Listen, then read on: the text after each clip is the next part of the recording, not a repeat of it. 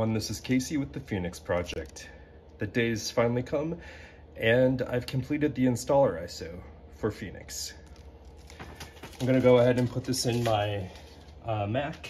I'm installing it on a Power Mac G5. I believe this should also work on a G4, but I don't have a G4 to test it, so you'll have to let me know.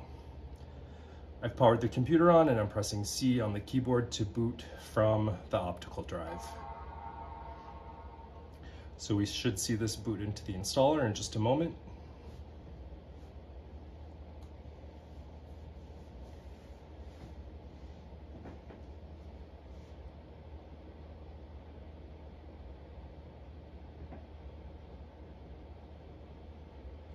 So one of the differences between the Fienix installer and some other installers is that the Fienix installer does set a default uh, username and password here. So you'll want to make note of that.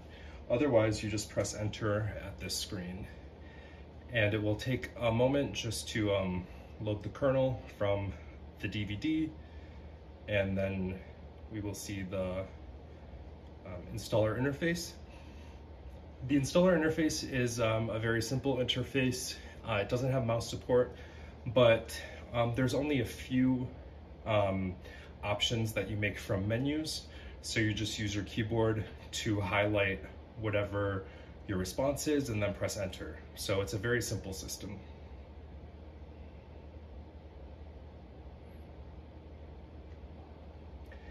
And I'm going to show the, the entire install process just to show you exactly how this works. And then um, I'll show you this computer booting into Fienix for the first time.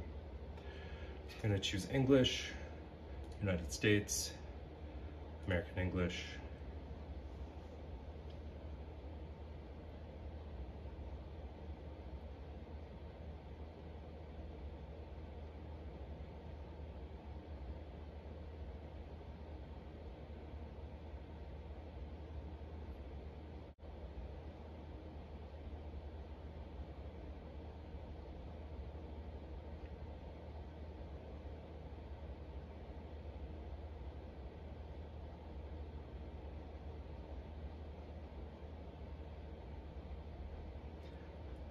A benefit to the Fienix installer is that you don't need any um, scripts, you don't need to download any custom scripts or patches or type in any repository addresses or um, remember any technical settings. That goes along with the primary objective of Fienix, which is to have an approachable, friendly OS that um, all users can enjoy. Down to central, press enter there.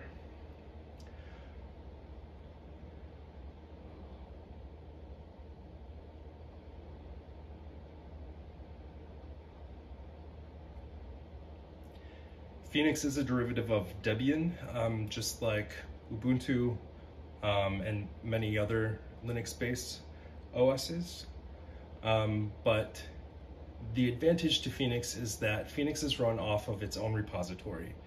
Um, and so with um, PowerPC being um, a secondary architecture or a community supported architecture, um, there's a lot of times that packages will be broken in, um, in the Debian repository. And so that's not something that you have to deal with if you are using Fienix. This is the partitioner, so um, I'm just going to accept the default partitioning and then move that over to yes and press enter. From this point, um, the installer will handle everything from here on out. I don't need to interact with it anymore. So I'm going to go ahead and fast forward the video um, and then I'll come back when we're logging into Fienix.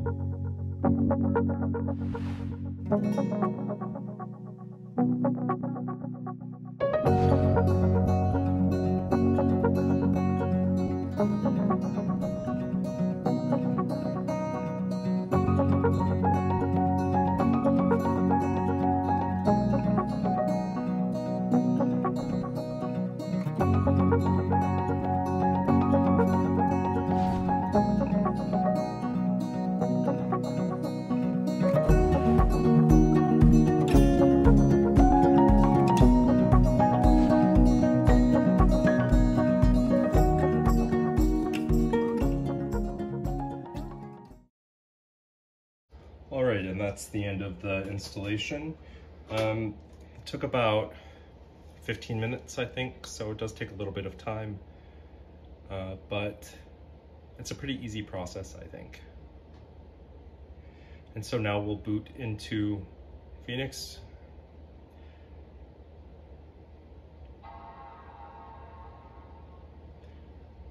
While this boots up, I just want to take a moment to thank everyone that has made a donation to the project. Um, Fienix has ended up being a little bit more um, of an expensive hobby than I originally anticipated. Um, like I said earlier, Fienix has its own repositories, um, so there are some expenses associated with running a server and bandwidth and that sort of thing. Um, so I appreciate uh, everyone that has made a donation. Um, don't feel like you have to, but uh, for those that have, it's much, much appreciated. So I'm going to go ahead and log in with the default username and password.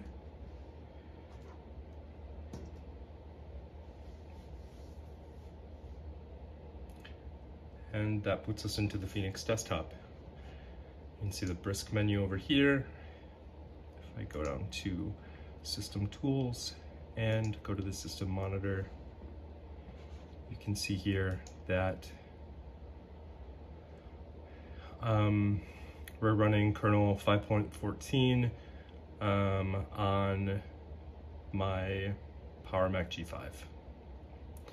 Um, it looks like there's a bit of a bug that I'll need to look into because this theming is incorrect. Yeah, so this should be using this Fienix default.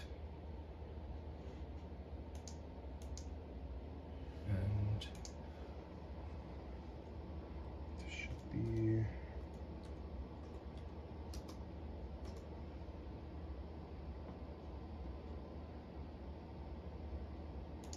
this here.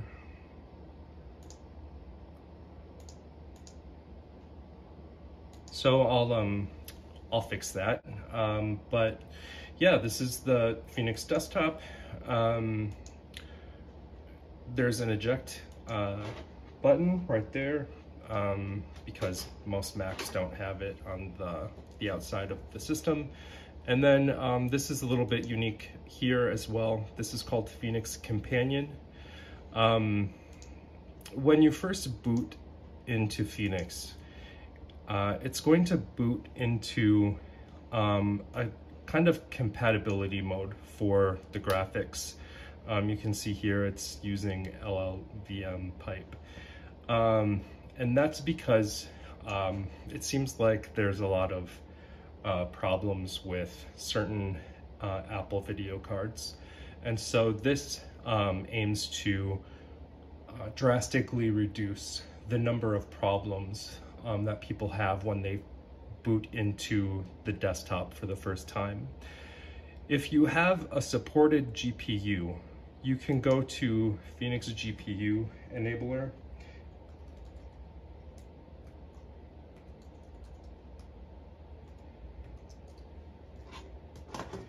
and um, you can check the supported GPU list and if your GPU is supported, you can enable hardware acceleration. And that's going to give you um, better performance, basically. I mean, really, it, it, runs pretty well overall. You can also install um, a curated app suite. This is going to have uh, applications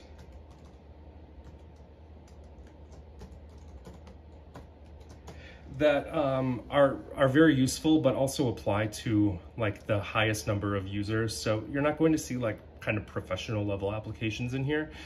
Uh, it's going to have kind of things that like apply to everyone, um, that everyone can get some use out of, and then you would just install those. I'm not going to do it right now, but um, you can also set up Library, Library Cloud services um, so that in your home directory here, uh, there will be a folder that will connect to a personal uh, cloud storage. And then you can also access that cloud storage on any device that has a web browser. There are some other useful tools in here as well. Um, otherwise, I think that Fienix succeeds in providing a pretty user-friendly um, operating system. I don't think you need to be um, technically proficient to get a lot of enjoyment out of it. All right, thanks everybody for watching.